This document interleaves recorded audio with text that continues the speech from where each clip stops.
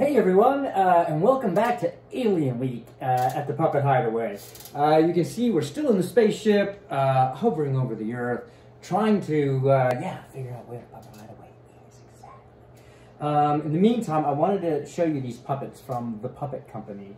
Uh, what I really like and make that I think makes these extra special is the fact that these are actually knit they're, they're knitted puppets, you know, like a, like a sweater. Uh, and they're cotton, about 16 inches tall.